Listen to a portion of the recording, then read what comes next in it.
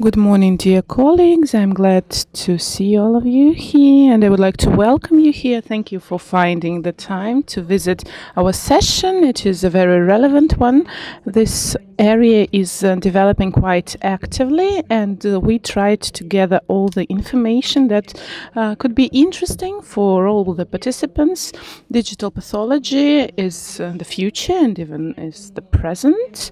And uh, the first part of um, our session will be dedicated to this topic, and today we will touch upon uh, cytology issues, new methods in this medical area, and also the relevant changes in urology in the light of uh, the new classification that was issued by WHO. I would like to welcome you and I wish you fruitful work ahead.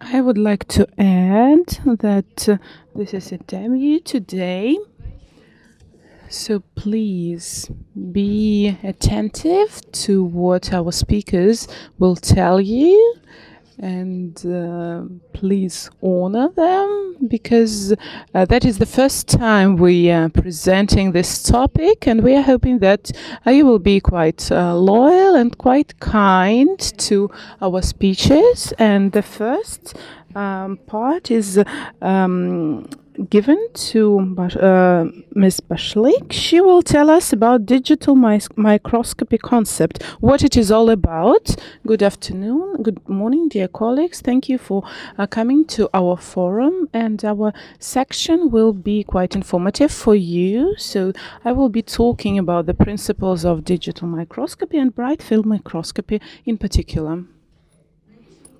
So that is the newest area of uh, digital microscopy.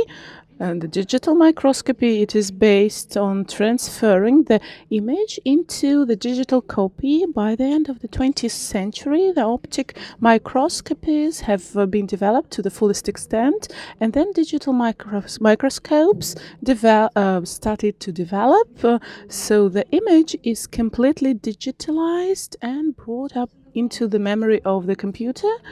Uh, and the basic uh, difference is uh, the absence of an ocular uh, Instead of it, we have a digital camera and it does not provide any distortions. So it improves the color image and you get the digital image and you can process it after afterwards and uh, it enables you to store all uh, the data on your hard disk. And the next stage uh, is the um, scanning image of uh, microscopes and um, um, it gives you an opportunity to receive uh, the cytological image with a high resolution.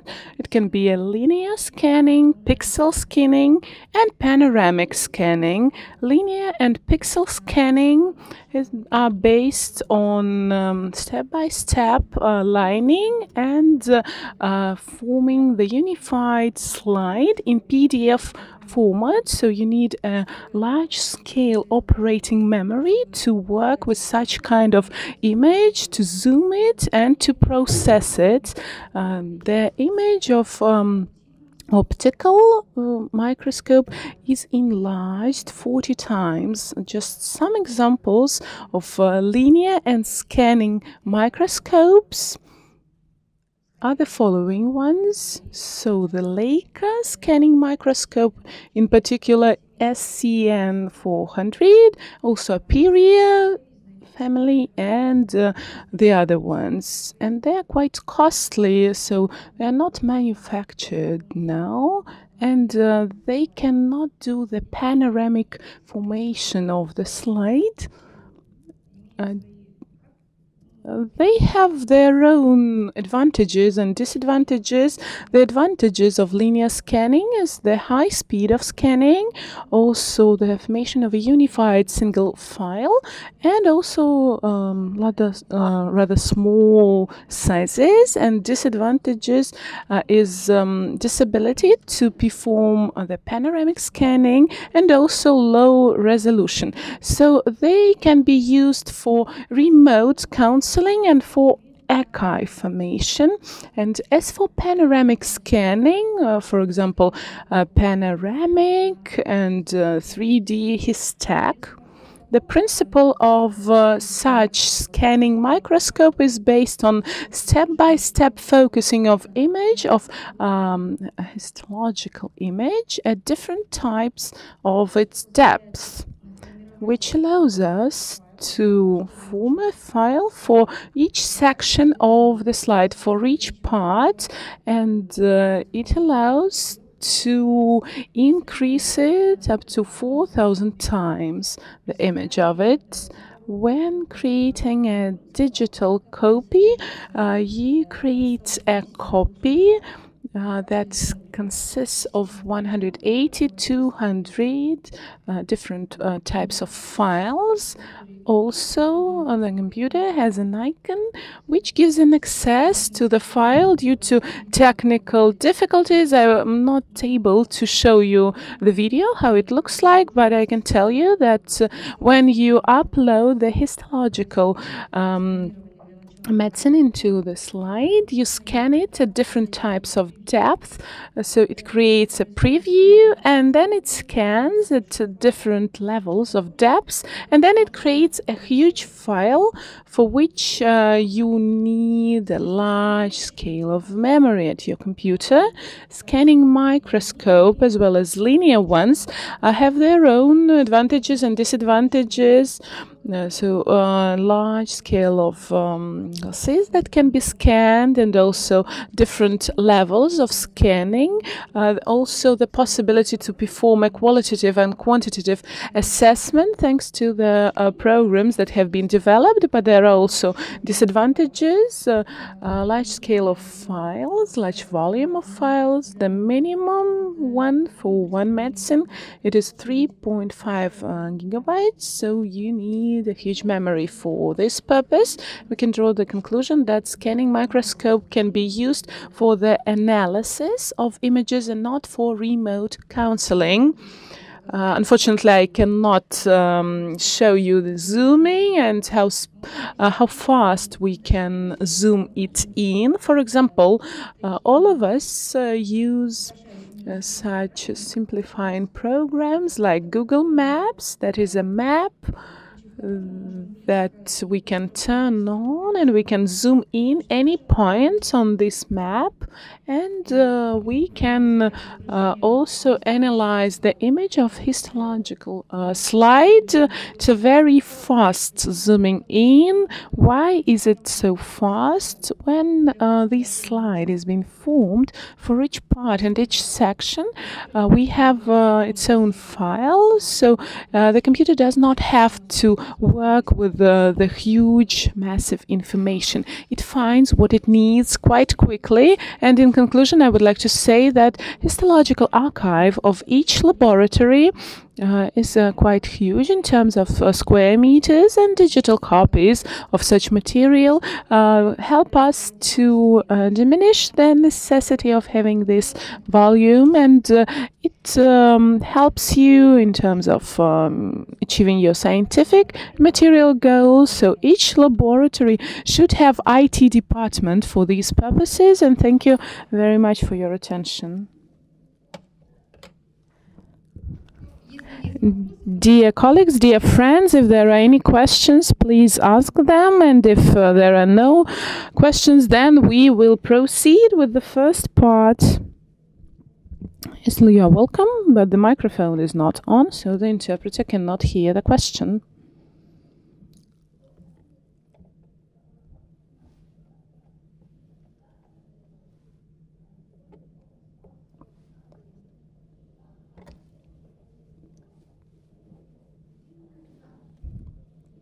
So the microphone is unfortunately not on.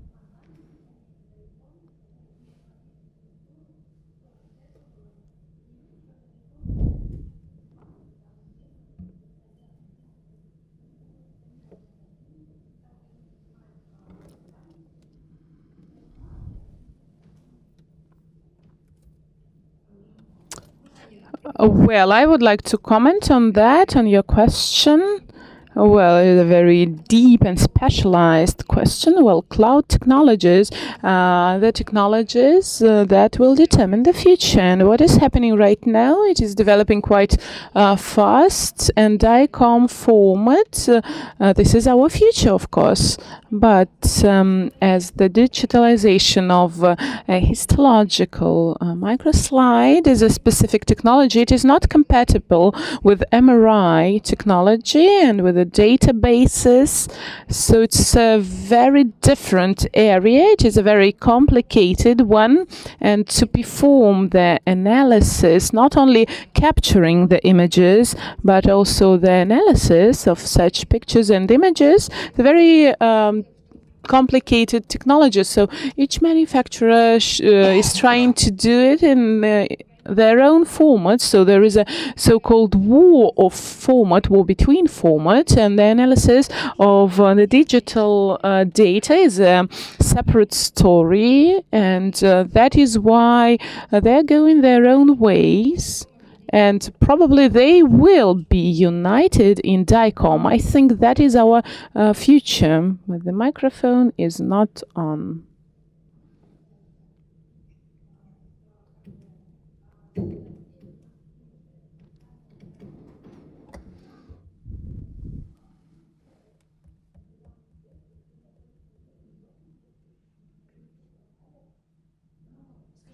So could you please tell us, uh, have you compared the existing means for the analysis of uh, images with open source products?